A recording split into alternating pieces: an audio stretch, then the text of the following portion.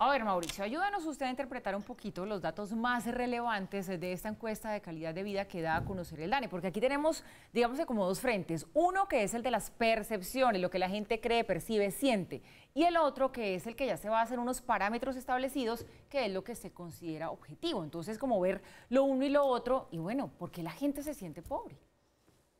Esa sí no se la puedo decir. No les he preguntado. Pero déjeme le digo en dónde radica la diferencia. Pobre? Ya, ya sí le voy a explicar. Eso sí le voy a explicar la hipótesis. Pero primero la comparación de las cifras. Nosotros tenemos una medición objetiva en Colombia de dos clases de pobreza. Está la pobreza multidimensional que mencionaba el director del DANE, el doctor Oviedo, que mide, eh, nos da la última lectura en 19,5 de los colombianos. Sienten que son, no sienten que son pobres, son pobres de acuerdo con los criterios de pobreza multidimensional. ¿Qué es la pobreza multidimensional? Condiciones de la casa, que si tiene el piso de tierra, que si lo tiene en cemento, que si tiene acceso al agua. Es decir, una serie de cuestiones que están alrededor de la vida cotidiana que determinan la calidad de vida de la persona. 19,5. Pero ustedes dicen, no, a mí lo que me interesa es cuánto me gano yo esa también se le tiene. La medición de la pobreza monetaria. Por pobreza monetaria, medidos los colombianos, hay 27% de los colombianos pobres. Dense cuenta que lo multidimensional, donde llegan servicios públicos, solidaridad de los, eh, eh, del barrio, etcétera, etcétera, es un poco menor o es bastante menor, casi 10 puntos, que lo que es la pobreza monetaria.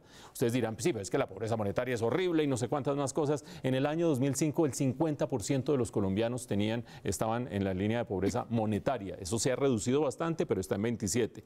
Y usted le pregunta al uno y al otro, no me diga si tiene piso de tierra, no me diga cuánto gana, no me diga eh, cuánto dinero está recibiendo. ¿Usted se siente pobre, sí o no? Y ya pasamos, no 19, no 27, sino este 34 del que estaba hablando el director del DANE. Es decir, la percepción que cada uno tiene sobre su propia situación resulta ser peor en promedio de los colombianos que la que dice la eh, plata que se gana y los parámetros que da la comunidad internacional y la que dice las condiciones en las que vive.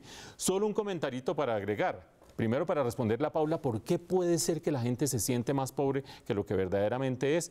Yo creo que en este momento hay una percepción grande de zozobra. Es decir, ustedes ven que el mercado laboral se está deteriorando, que está aumentando la situación del desempleo, que la economía no volvió a crecer a las tasas del 4,5% que crecimos durante 10 o 12 años después de la bonanza petrolera. Y todo eso va generando una situación de zozobra que hace que yo creo que la gente sienta que está peor que lo que estuvo durante 10 años y sencillamente por eso... Eh, más allá de su condición objetiva, se puede sentir así. Pero el segundo elemento que quiero mencionar y es para hacerle seguimiento de aquí en adelante durante los próximos tres años. La pobreza monetaria, la monetaria, aquella del 27%, cayó en Colombia, cayó, cayó, cayó, cayó hasta el año 2017 y en el 2018 volvió a empezar a crecer. La distribución del ingreso en Colombia mejoró, mejoró, mejoró, mejoró y en el 2018 empezó a deteriorarse. ¿Por qué hago énfasis en eso? Porque este crecimiento que tenemos, que es insuficiente, está cambiando nuevamente la buena suerte o el buen desempeño que tuvimos durante 10 años. Y eso, ténganlo por seguro, en las próximas elecciones presidenciales va a ser un tema central. Aquí volvió a aumentar la pobreza, aquí se volvió a deteriorar la, la distribución del ingreso, por lo tanto, y ahí arranca el discurso.